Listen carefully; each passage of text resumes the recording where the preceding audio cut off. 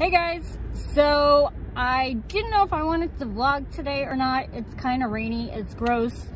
I'm on my way to the chiropractor and I decided to stop off at the Dollar Tree and I just wanted to show you some goodies that I got.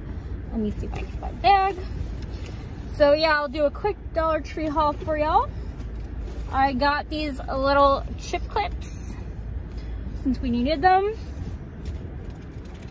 I found these like makeup erasers. Um, I'm not wearing makeup very much, but I think it would be good just to have so I'm not using up as much water in the RV. I got two of them. If I don't like them, I will just uh, regift uh, the other one to a friend or a family member. And then I got these little mesh strainers. Um, we have tiny like drain, like to go down in your drain. Like it's a very small haul. And um, I wanted to pick up one of these to see if these actually fit because I uh, got on Amazon and I they didn't fit. And then I also have